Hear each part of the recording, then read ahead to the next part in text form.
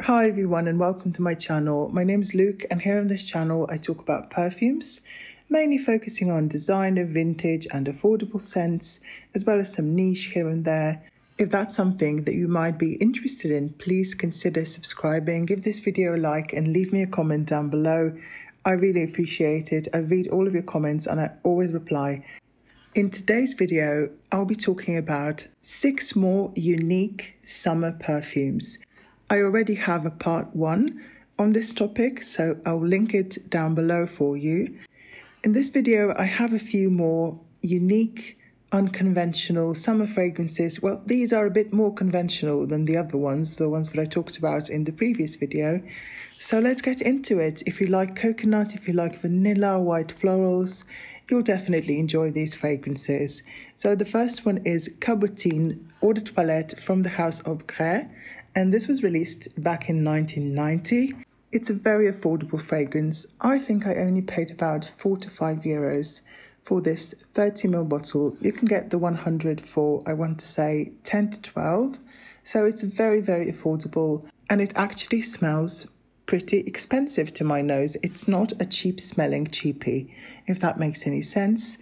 I would describe Cabotine as a sweet, creamy white floral with some fruity notes, some powdery notes, but predominantly the white flowers with some black currant and peach in the opening. I can really smell the black currants for some reason. So it's your typical 90s style floral fragrance. You've got a bunch of different florals tuberose, hyacinth, carnation, jasmine, ylang ylang, I can really pick out the tuberose and I can also smell the hyacinth, which gives the scent a very slight greenness and bitterness. But it's still a very sweet floral. To me, this is not overly green.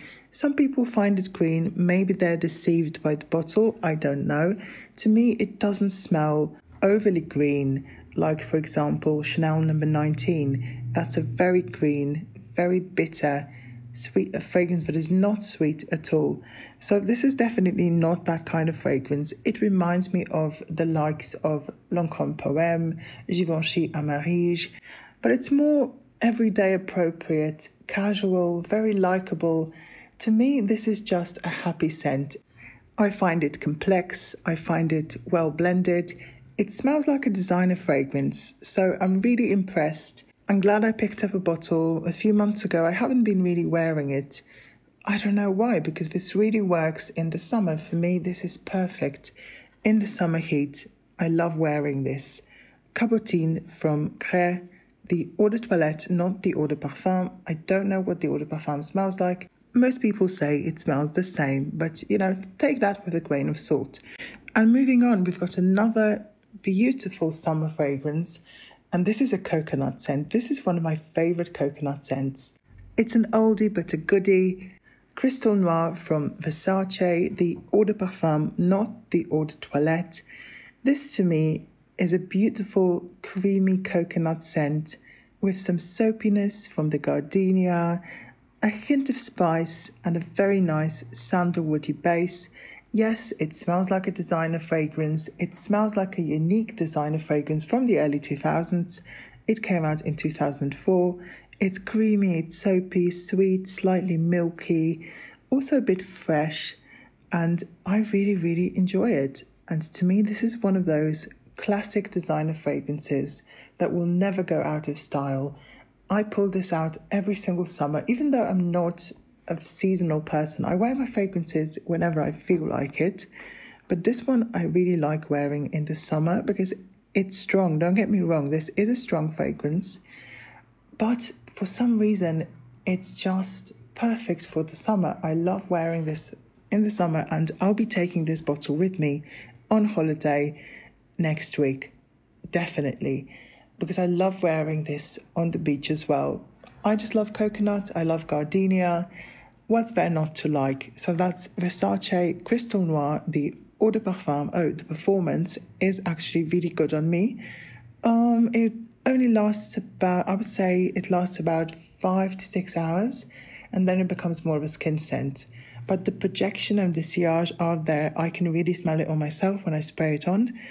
I bought a bottle of the Eau de Toilette a couple of years ago and I returned it because it I I couldn't even smell it on me. So I decided to return it. So that's Versace Crystal Noir, the Eau de Parfum, and we have to move on. I've got another vanilla fragrance. This is a vanilla coconut fragrance from the house of Jeanne Arthes. This is Vanille Tropicale. It came out in 2014 and you can get this for around four to five euros. It's a cheapie, it's affordable. Uh, it's from La Ronde des Fleurs collection, presented as an as homage to Grasse, the perfume capital of the world, as you know, in the south of France. This is a vanilla scent with a hint of coconut. The vanilla is sweet, it's creamy, uh, ever so slightly synthetic smelling, I have to say, but it's very likable. It's also powdery and it has a slight tropical vibe, which I absolutely adore because I love coconut, I love ylang ylang, but it's not overly heavy on the coconut, I would say, because it's predominantly a vanilla fragrance. And one fragrance this does remind me of in the dry down is Fire at Will from the House of Jovoy Paris, which is an expensive niche fragrance. I really like it. I'm not going to buy it. But this one, for some reason, really reminds me of Fire at Will, which is also a vanilla caramel fragrance, I believe. But you know, don't take my word for it. I'm not claiming they're dupes or anything. I just find them to be similar. So that's Vanille Tropicale from the house of Jeanne Arthes. And the next fragrance is also from a French house, from the house of Cacharel, and it's called Noa. This is Cacharel. Noa, I got it about a month ago and I've been wearing it a ton. I absolutely adore Noa. It's a beautiful musky floral scent with some powderiness and with some coffee in the base. It smells fresh, it smells clean, comforting, musky, but this is a very clean musk, not a dirty musk. And it's just one of the most beautiful ethereal fragrances I've ever tried. I'm so glad I got a 100ml bottle. This is such a delicate scent that also lasts and projects. It feels light, it feels delicate, but it's not actually a light scent. And it on me, it performs. So I'm really impressed by the performance. It's light and airy, but not weak. It projects for about three hours on me and lasts for about, I would say, six to seven hours, but I can smell it on my skin all day and I can smell it on my clothes all day. So it's not a weak scent at all. And it's also, it's very affordable. The 100 ml, I think, goes for about 35 dollars, euros, pounds, I want to say. So yeah, if you want to smell like a bar of soap, check out Noa from Cacharel. The next fragrance is another typical summer fragrance with some vanilla, some coconut, some white florals. It smells like a suntan lotion. It really does. And it's Eau de Soleil Blanc from Tom Ford. And this one is not the real thing. This is a dupe, an oil dupe from Perfume Parlor, I think, from the Perfume Parlor, which is a UK uh, dupe brand. And I got this one, I think someone sent it to me. I don't even remember. I've had this for a few years. Uh, it's really nice. It's super strong. You only need like three or four dabs. I dabbed it like three or four times. I could smell it all day on me. It's such a strong fragrance. And it smells exactly like Tom Ford de Soleil Blanc to me. Exactly. So I'll definitely take this one with me on holiday as well and just maybe wear it as my base layer and then layer some other fragrances over it. That's my plan. We'll see how it goes. But we have one more, and this is truly Italian Dolce Vita, you know, living La Dolce Vita in Italy or in the south of France as well. It's none other than Dolce Vita from Dior. This is a classic from the 90s. It's a fruity, woody, powdery fragrance with some vanilla. Yes, it's sweet, but it's not too sweet. It has a spiciness, it has a powderiness, it has a beautiful peach note and it just wears beautifully in the heat. I love wearing this in the heat.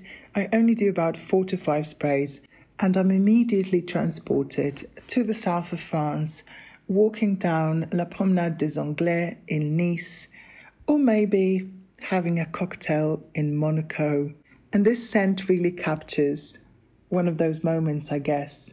You know, living the sweet life, not having a care in the world, doing whatever you want, going to the beach, enjoying the sun, the sea, and just enjoying life because life is beautiful. No matter where you are and what you're going through, try to enjoy every moment, live in the moment, seize the day, focus on the positive. I do that every day and it, has helped me through some really bad patches. Apologies for being too melodramatic, but let's end this video on a positive note.